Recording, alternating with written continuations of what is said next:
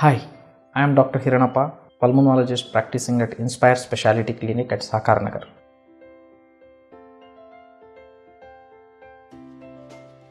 Smoking is the biggest risk factors for a lot of other diseases. It's a risk factor for COPD, it's a risk factor for lung cancer, it's a risk factor of various other cancers and heart diseases. It's, it's the biggest risk factors and it's a reversible risk factor. Means if you stop smoking, you can prevent a lot of things. And one of the way to screen in a smokers objectively, see some people are willing to quit. It's addict forming and it's a high amount of nicotine dependence. So what happens in um, smokers? How do you screen? So once the patient comes to us, we ask the smoking history, how much whether they smoke beedi, whether they smoke cigarettes, and how many pack years they have every day, how much smoke. If the first day in the morning there's a urge to smoke, and whenever they try to quit smoking, they get any withdrawal symptoms like sweating, urge to smoke again, and because of the peer pressures, they end up smoking again.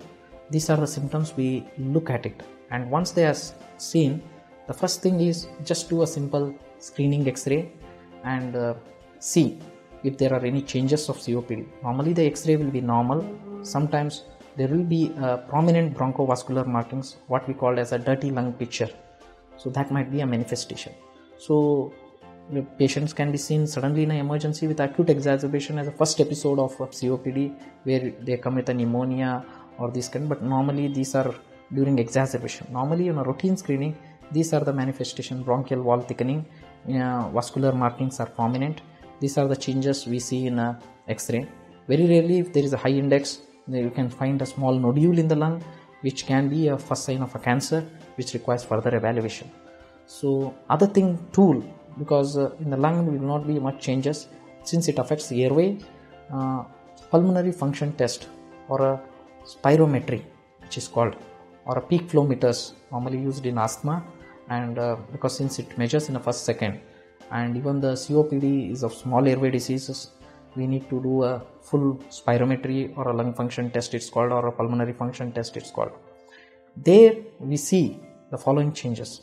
Normal spirometry will rule out copd whereas unlike asthma. So what happens in the changes? The first changes means if you see a flow volume loop there may be a cowing of expiratory limb or there might be a small airway obstruction.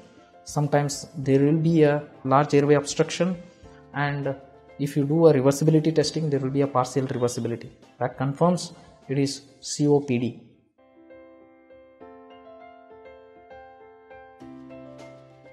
symptoms of COPD the first symptoms is cough initially dry on exposure to dust or this thing. During winter bronchitis they can get. In a seasons of winter they get cough with expectoration sometimes greenish or yellowish. Initially that might be uh, first symptoms in a mild COPD as the disease progresses you can have breathlessness breathlessness on exertion okay? If you take a rest it will improve and gradually it will keep progressing. Sometimes associated with wheezing sound and uh, it's more on exertion. And as it really really progresses you can have other symptoms like you can have swelling of face swelling of limbs when the copd is really progressive mainly the symptoms of copd are cough with expectoration and breathlessness with or without wheeze